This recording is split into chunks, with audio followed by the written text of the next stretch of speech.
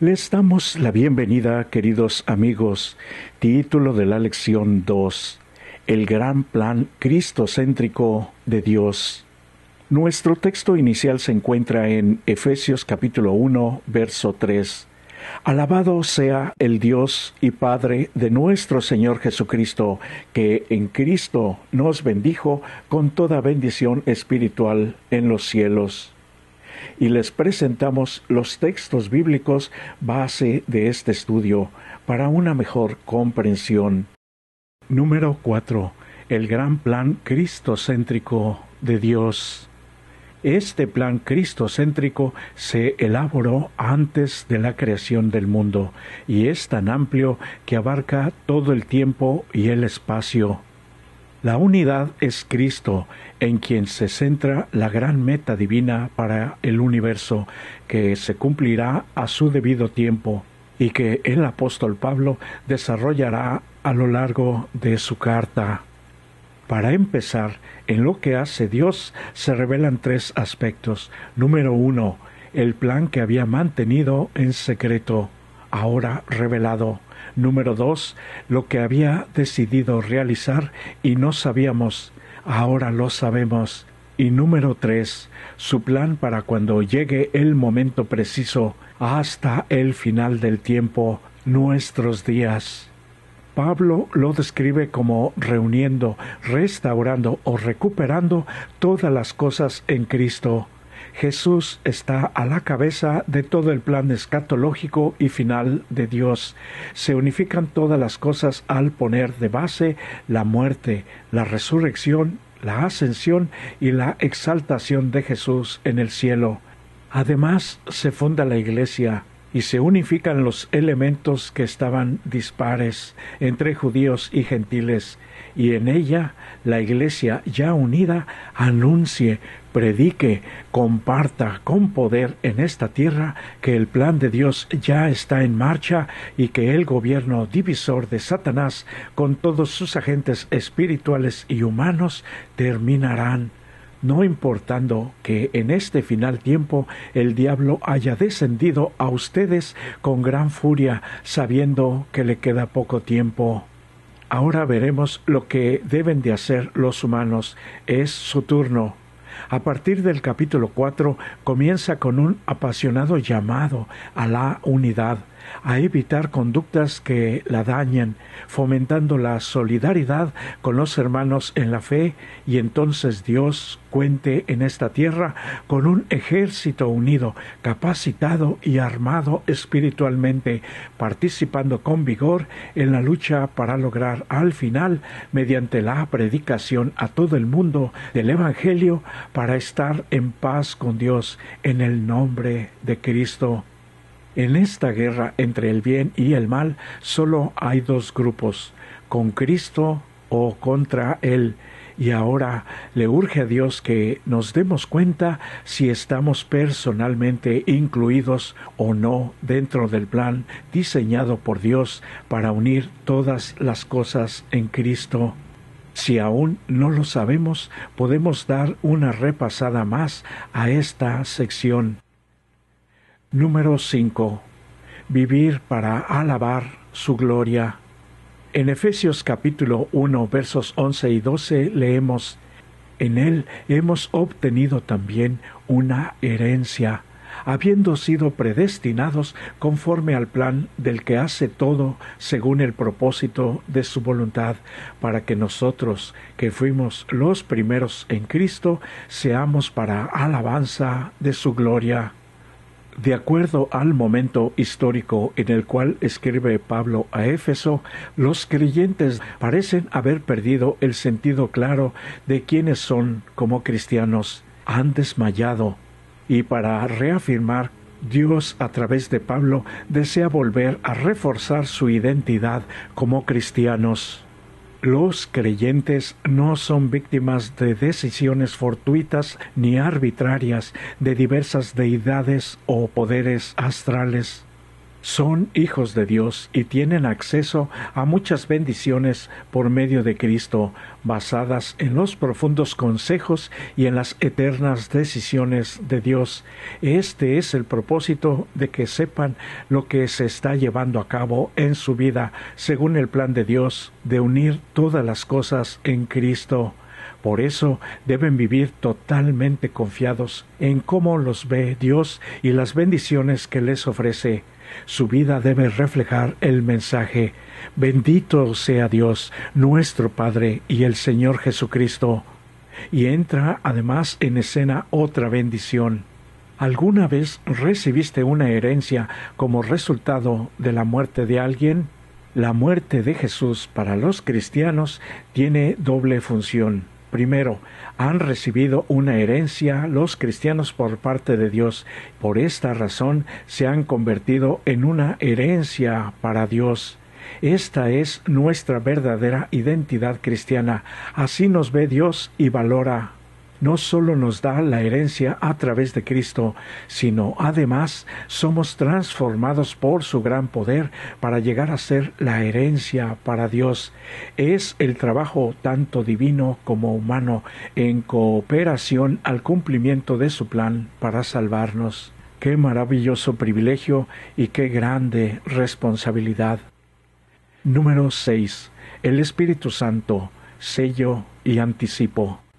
Pablo ahora relata brevemente la historia de conversión de los cristianos y aquí es vital la intervención del Espíritu Santo en la vida de los creyentes.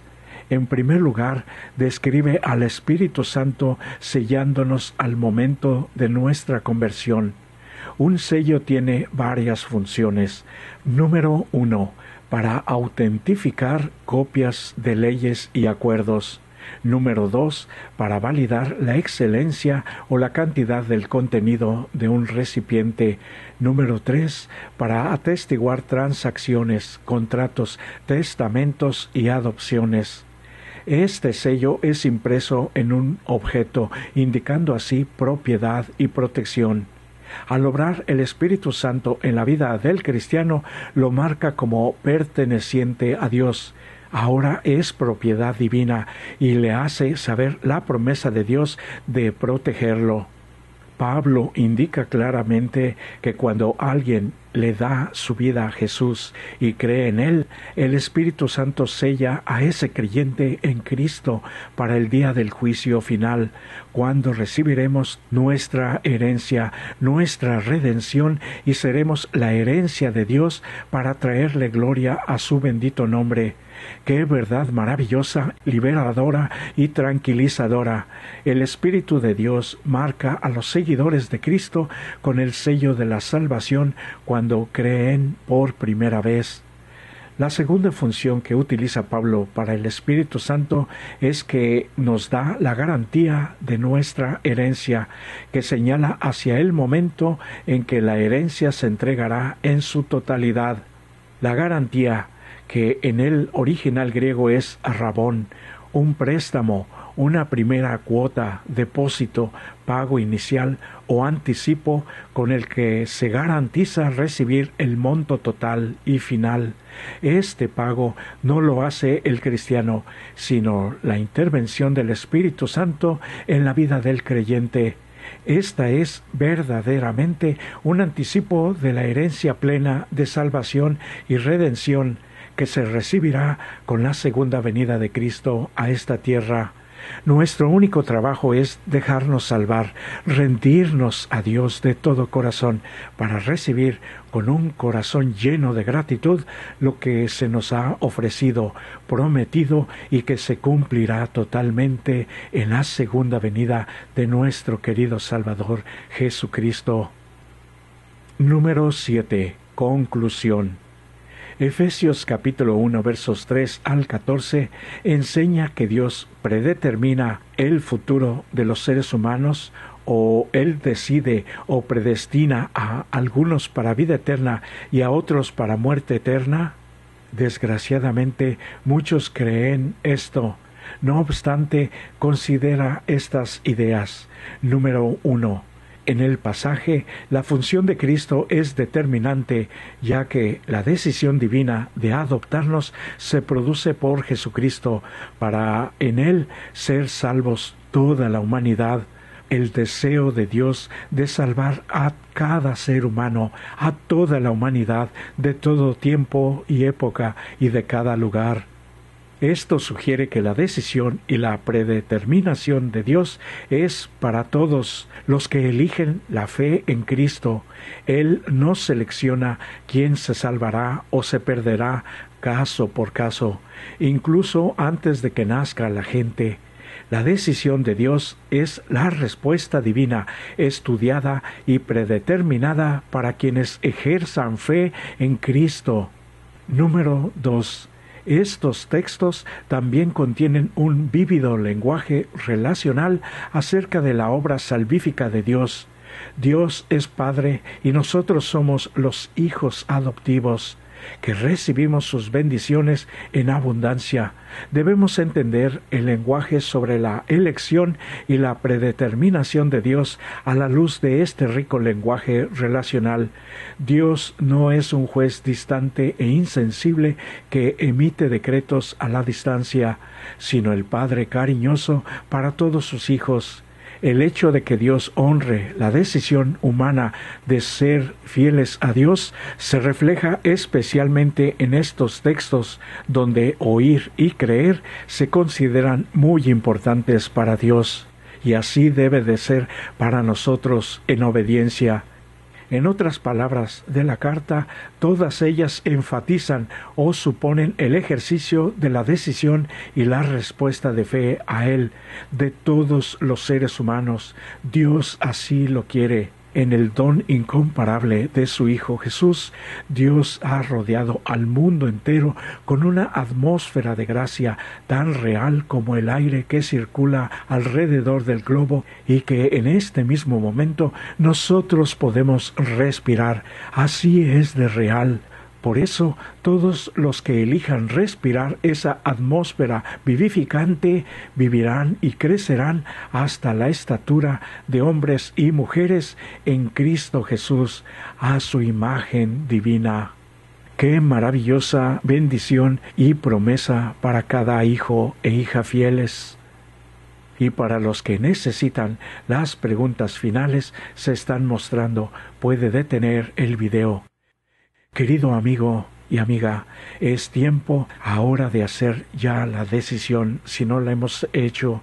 No esperemos más, podría ser demasiado tarde y esperamos que todo este conocimiento, un caudal de luz y bendiciones, nos ayuden a tomar las mejores decisiones, porque jamás Dios la tomará por nosotros, no a fuerza, es por voluntad, por amor de Dios a nosotros y por amor de nosotros a Dios. Que el Señor nos bendiga.